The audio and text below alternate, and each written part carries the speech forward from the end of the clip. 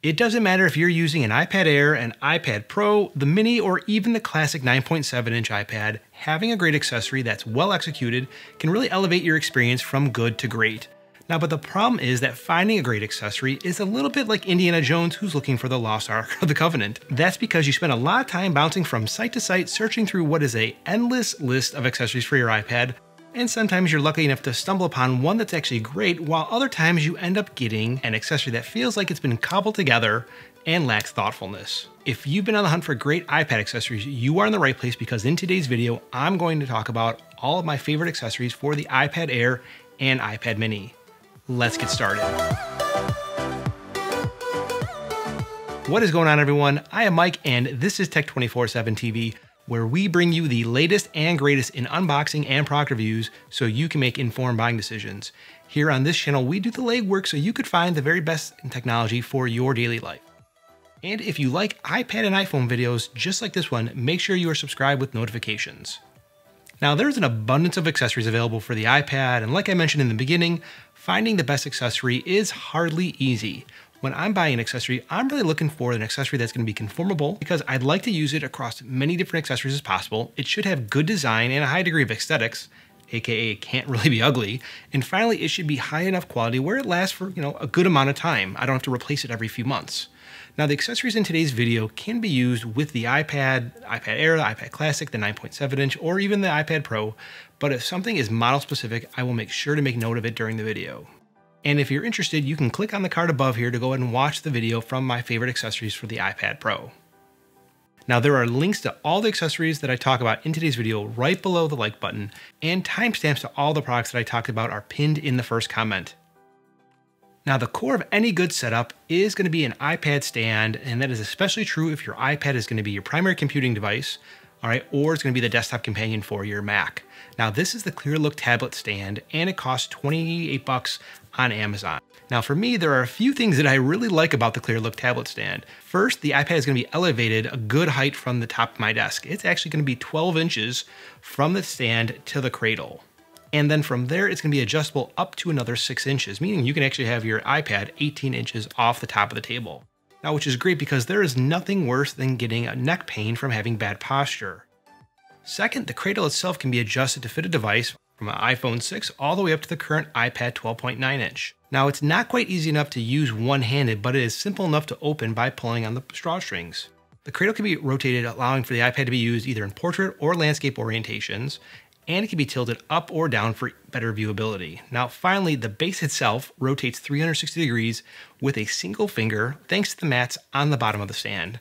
Plus, I really appreciate the minimal design aesthetic. Now, from my perspective, this makes a great stand to use with, you know, if you're using this as a primary computing device with a keyboard and a mouse, if you're using it as like a secondary monitor on Mac OS Catalina and Sidecar, maybe you want to use it to play video games, FaceTime, WebEx, possibly even in a kitchen, but except for me, my cabinets are a little bit too low, or in a professional environment as a, like a kiosk check-in or a point of sale stand. Now, prior to this, I was using the Satechi R1 hinge, which I really still find myself using, but that use cases are a little bit more nuanced now since getting the Klearlooks. I would go ahead and still recommend the Satechi if you're looking for a stand that has great viewing angles, great fit and finish, while being ultimately more portable than the Klearlook. Now that you have a great stand for your iPad, you really need an equally great hardware keyboard if you want to accomplish some serious work. I previewed the first option in my last video about the iPad 2 and iPad OS, and it is the ultra portable Bluetooth foldable keyboard from iClever, and it costs $37. Now what's great about this keyboard is that it's ridiculously compact footprint and it weighs only 6.3 ounces. This allows for it to easily fold into any backpack or briefcase, or if you're a carpenter, in your back pocket. Now the keyboard is compatible with iOS, Android, and Windows devices and can easily switch between the devices itself. The keys are backlit and they have a sufficient amount of key travel and it really kind of has my favorite function keys which I talk about almost every video. Now the downside here is that it charges via micro USB. It's not a deal breaker for me, but I would love to have seen USB-C charging. Now, on the other hand, if you are looking for a keyboard that is not necessarily as costly and is going to be kind of affixed to your desk on a more permanent basis, there's the Jellycomb wireless keyboard. I don't know where they come up with these names. It's quite funny. This is going to be $15 on Amazon. Now, it has a similar feature set, a good typing experience. It has those iOS function keys, still works with those trio of devices, but you lose out on the portability and the backlit keys. Now, if it hasn't been entirely clear yet, I am a big proponent of flexibility, which really extends to the way that I charge my devices. Now, for me, I am all in on using USB C to charge my devices because I really want to minimize the number of cables that I carry day to day. And USB C has a lot of inherent benefits because it can safely charge my iPad or even the iPhone faster with power delivery. Now, for USB C, I'm charging with the PowerPort Atom PD1. What a mouthful. It costs between 25 and $32 on Amazon, depending whether it's on sale or not. Like I just picked up my last one for $21 during Amazon Prime. Now let's compare the 30 watt charger from Anker to Apple's 18 watt charger that comes with the, you know, the newer iPads, in addition to the 30 watt charger that you can purchase separately for $49.99. You can clearly see that the Anker version is just about as big as the 18 watt charger and it's practically baby sized when you compare it to the 30 watt charger from Apple. Well, that's because Anker is essentially using a new manufacturing technique that shrinks the internal components, allowing for, for a much smaller footprint.